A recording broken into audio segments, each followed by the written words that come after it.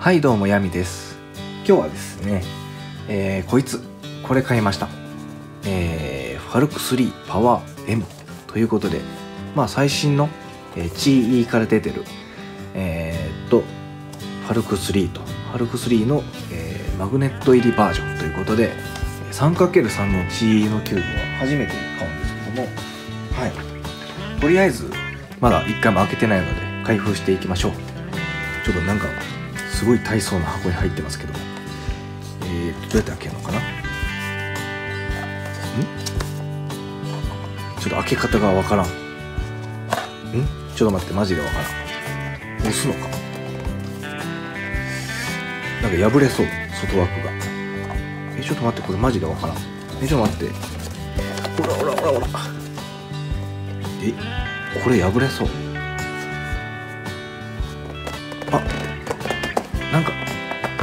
押したら。あ来た来た来た。よいしょ。やっと外れた。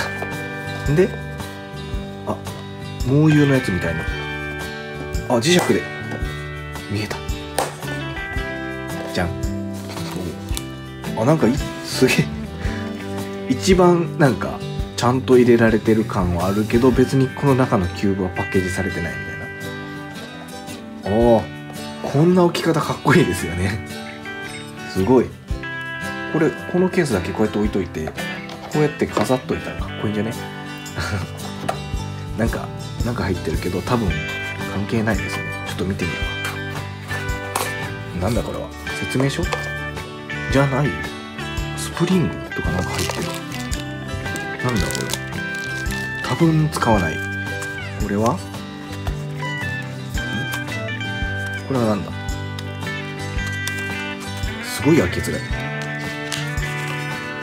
ああああってなんだろう。ああなんか書いてた書いてた。えっとねこんな資料を作ってきたんですけどもなんかファルクのロゴ入りクロスみたいな。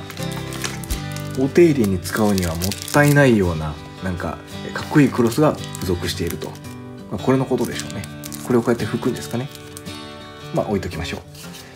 でなんかシールとかえー、なんだこれなんかコースターみたいな コースターじゃないでしょうけど。あえ？替えのシールまでついてるすごい。えー、こういうの初めて。すごい。まあ多分ちょっと開けたくないけど全色入ってるんだと思います、はい、だからシールがボロボロになってきても新品に交換できると。しかもこのメーカーの、えー、ファルク3だったファルク3のこのパワー M のロゴ入りのこのシールがあると嬉しいですよね。 GANキューブとかだとここのやつ売ってないですよね。なんで一回めくれてしまったら終わりなんですけども またキューブ買うしかないみたいな。もし GANキューブのこのこのシール普通に売ってるよっていう知ってるのを、えー、知ってる方がいらっしゃったら教えてください。ちょっと欲しいんで。特に 356S とかのあの、えー、ゴールドっぽい感じのなんかあったじゃないですか。ロゴが。あれあのシールだけ欲しいなって思ってるのでもし知ってる方がいたらもしこことかで売ってるよみたいな知ってる方がいたら教えてください。でですねこれはまあ置いといたとしてこのコースターみたいなやつとかシールとか置いといて問題は回し心地ですよ。はい。とりあえずいつもながら、えー、と V パーム V パームじゃないなんだっけ？J パームいきなりやってみたいと思います。はい。じゃあいきます。お。なんだこれ新感覚というか。なんかここのキューブを回してる感じがしないというかカラカラカラっていう感じがないんですよね。なんだろう。ウェットな感じというかさっきの分析表みたいなやつも今出てるんですけどえー、こうカラカラ寄りじゃないですよね。しっとり感。っとり感半端ない。で重め。確かに重い、えー、重さは 96.0g なのでダントツで重いですねこれ。GTS2M よりも全然重い。GTS2 よりもだいたい 8g ぐらいかな。重いです。うん。でもまあ GTS と比べた時にそこまでの重さの違いはないと思いますけどね。はい。ちなみにこれのマグネットなしの普通のファルク3パワーってやつですかね。だと、えー、90.0g なのでマグネットの部分で 6g ぐらい重くなってると。そういった感じですね。ちなみにこいつ、えーと、税込4500円でした。まあまあ高めです。ガンキューブほどじゃないけども、えー、割と高め、はい、コストパフォーマンスは決して良いとは言えないですね。でマグネット入ってないパワー普通のファルク3の、えー、パワー M じゃないやつだと、えー、税込み2900円だったのでそっちだと割とね安いので、うん、GTS パワーえ？パワーじゃない。GTS2M か。とあんまり変わらないですね。これのマグネットなしのバージョン値段 GTS2 マグネットなしは確か3000円。え違う。マグネットあり GTS2 マグネットは3000円だったのであんまり変わんないですねでもこれのマグネット入りとなるともう4500円と、はい、急に高くなるで総合評価が85.0とかなり高めですね、はい、これのマグネットなしの、えー、G ファルク3パワー M じゃない方ね。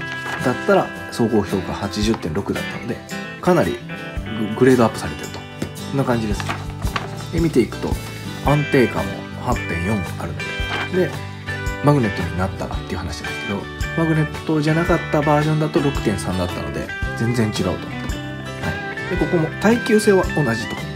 どちらも8.0、うん、で柔軟性に至ってはちょっと、えー、低くなってる。マグネットを入れたことによって柔軟性が失われているという。そんな感じしないですよね。まあっていうかあの普通のパワー。あのマグネットが入ってない普通のパワーの方を触ったことがないので何とも言えないんですけども、うん、柔軟性がないっていう感じはしませんね、まあ、それでも7.2は評価があるので、まあ、この数値が絶対っていうわけじゃないですけども、うん、まあ全体的に見てこういう評価だということですね。まあガンキューブの最近の一番新しい356エア SM が総合評価8.8.89.0だったのでまあ総合評価ではちょっと劣る感じはありますね。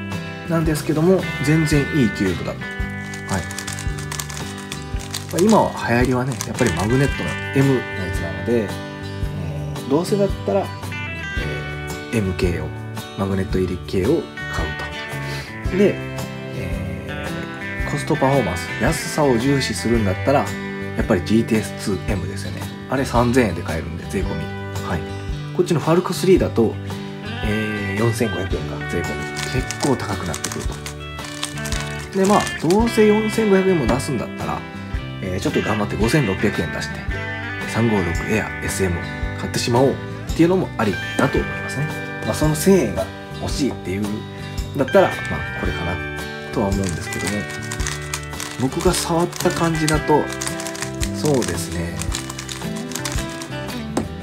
値段とか関係なしですよ。関係なしに考えてやっぱり1位は、えー、ガンキューブの356エア SM これですよね。で2位。2位は残念ながらなぜかこれじゃなくてこれより安い方の GTS2M ですね。実際に触って回した感じだとその感じかな。で3位がこれといった感じでしょうか、うん。まあ、他のキューブはねえー、ま、例えばいつも使ってるキューブ。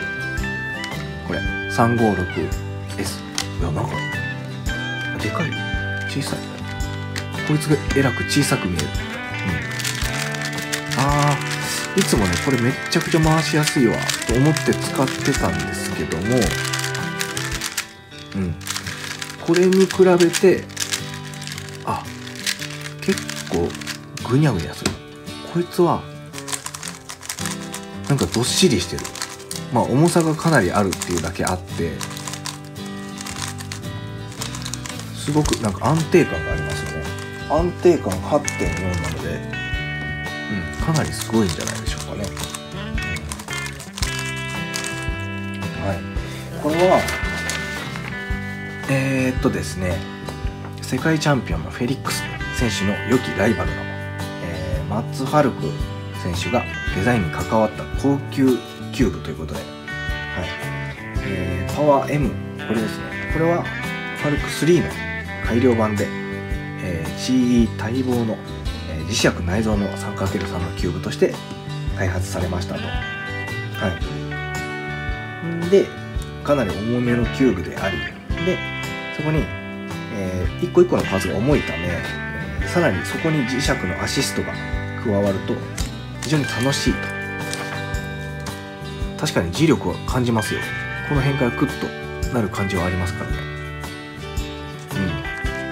うん。で、えー、ガン356エア SM と比較するとまあ柔軟性がまだ1点ほど低いと、うん、柔軟性ですね。ここのねここの部分ですよね。ここやや低めと。はい。まあそれはねまあ触った感じでもわかるかな。という感じですか、全然これも悪くないんですけどね。うん。で安定感といった面では、えー、GTS2 2M か。が7.5なのでえー、っとそうですね。7.5ですよね。うん。で 8, 8点を超えたキューブっていうのはこれが史上初ということで安定感にかなり優れていると。確かに安定感優れてる感じはありますね。安定感ってなんだよって感じですけど。うん。これなんか安定してる感はあります。はい。それであとはえー、安定感8.4ですからね。8超えてもう8.4までいってます。はい。かなり安定感の面では抜群のキューブだと思いますね。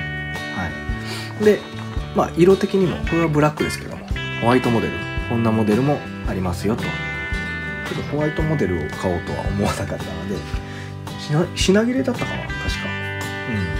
うん。まあ品切れじゃなくても買ってないですけどもやっぱりブラックがいいかなっていう感じでこれを買いましたね。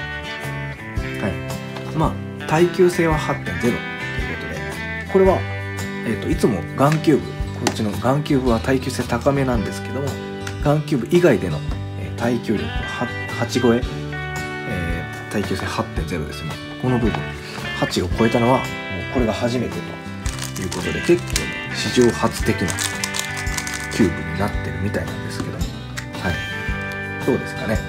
はい。まあこれもあの全部好みだと思うんですけどもはい。これがいいっていう方はいいと思いますしこのスプリングで多分こう開けて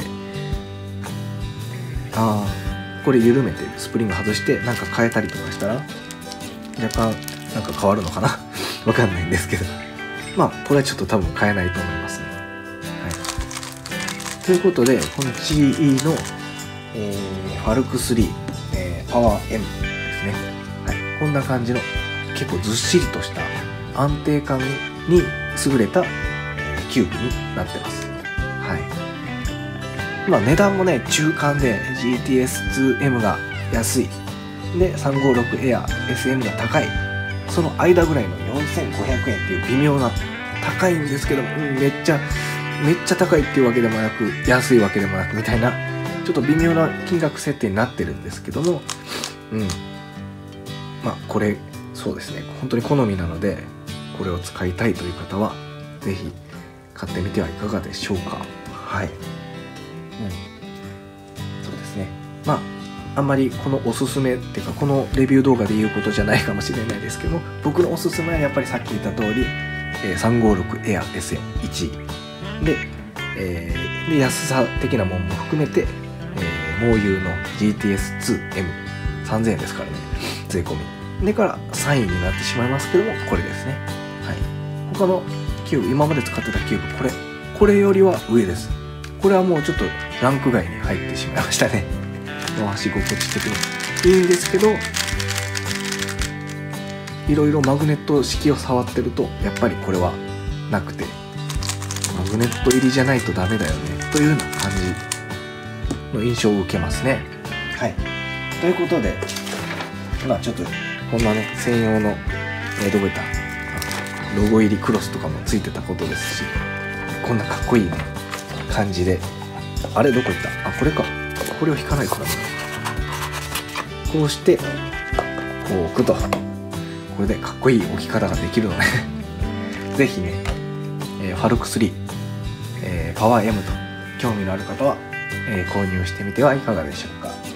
はい。ということでファルク3パワー M のレビュー動画でした。はいありがとうございました